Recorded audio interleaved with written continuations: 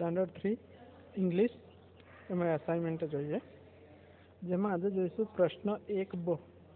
જેમાં છે, નીચે આપેલા ચિત્રો જોઈ વાક્ય વાંચો અને બહુવચનમાં લખવાના છે. તો બહુવચનમાં લખવા માટે આપણે પહેલાં શબ્દોનું બહુવચન શીખવાનું છે. તો શબ્દોનું બહુવચન માટે આપણે અગાઉ શીખી ગયા છીએ કે કોઈ પણ શબ્દની પાછળ એસ લગાવવાથી એ બહુવચન બની જાય. પણ અમુક શબ્દ એવા છે કે જેના છેલ્લા અક્ષર S, double S S H, C H, O કે એક્સ હોય, તો એ શબ્દની પાછળ ઈએસ પ્રત્યય લગાવવાથી બહુવચન બને છે. તો એ અગાઉ આપણે એક વિડીયોની અંદર જોઈ ગયા છે તો એ જ એક્સરસાઇઝ આપણે અહીંયા જોવાની છે.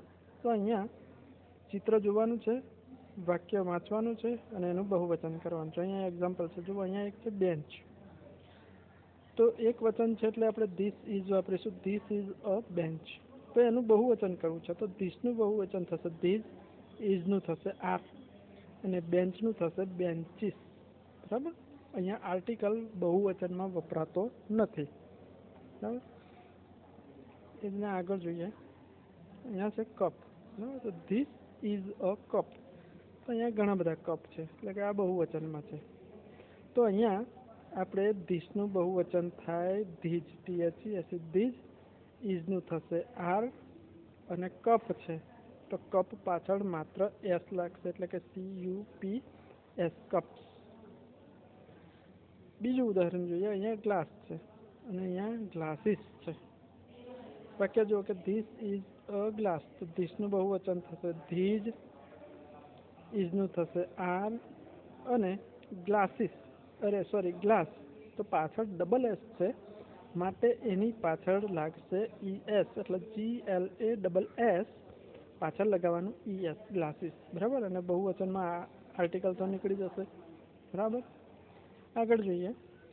અહીંયા એલિફન્ટ છે ને elephant that is an elephant તો ધેટનું બહુવચન કરીએ તો થશે those T H O S E those ઇઝનું થશે આર અને એલિફન્ટ, એલિફન્ટનું પાછળ એસ લાગશે. એટલે E L PH N T S elephants. બરાબર? અહીંયા આર્ટિકલ નીકળી જશે. એટલે ધોઝ આર એલિફન્ટ્સ.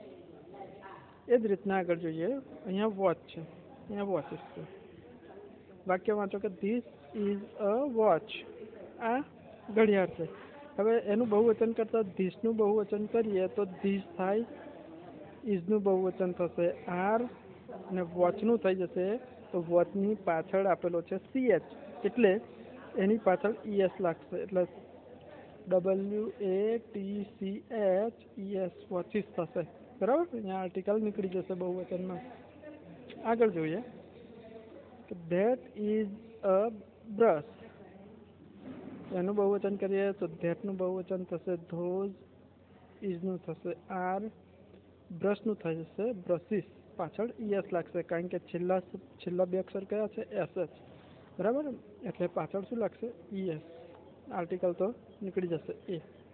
એટલે અહીંયા થશે ધોજ, આર, બસીસ બ્રશિસ બીજું છે, ધીસ ઇઝ અ બસ. તો ધીસનું થઈ જશે ધીજ ઇઝનું થઈ જશે આર, અને બસનું થઈ જશે જો છેલ્લે પાછળ એસ છે. એટલે ઈએસ પ્રત્યય લાગશે એટલે કે B U S E S buses થઈ જશે. બરાબર? તો અહીંયા આપણે છ ઉદાહરણ જોયા. એ છ ઉદાહરણ તમારે તમારી નોટબુકમાં લખવાના રહેશે.